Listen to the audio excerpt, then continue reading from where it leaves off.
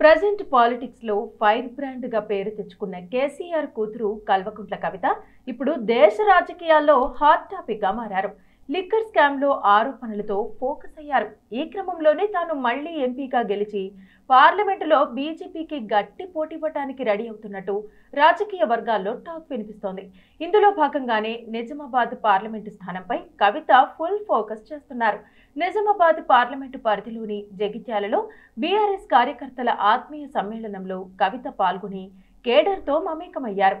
నేనున్నానంటూ వారికి భరోసానిచ్చారు.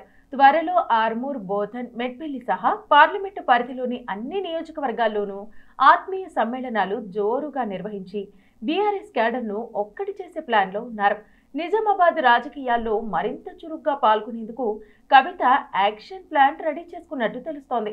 సొంత పార్టీ బీఆర్ఎస్ను గ్రామీణ ప్రాంతాల్లో పూర్తి క్షేత్రస్థాయిలోకి తీసుకెళ్ళడమే కాకుండా బీజేపీ దూకుడుకు చెక్ పెట్టడానికి ఇప్పటి నుంచే పావులు కదుపుతున్నారు.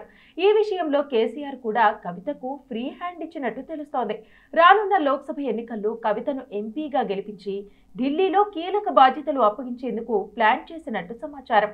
కవిత గత ఎన్నికల్లో నిజామాబాద్ ఎంపీగా ఓడిపోయినప్పటి నుంచి రాజకీయంగా ఏడాది పాటు సైలెంట్గా ఉన్నారు. ఆ తర్వాత స్థానిక సంస్థల ఎన్నికల్లో ఎమ్మెల్సీగా విజయం సాధించి శాసన మండలిలో అడుగుపెట్టారు. ఇప్పుడు ఓడిన చోటనే గెలవాలని బీజేపీ ఎంపీ ధర్మపురి అరవింద్ను ఓడించాలని నిజామాబాద్లో విస్తృతంగా పర్యటిస్తున్నారు.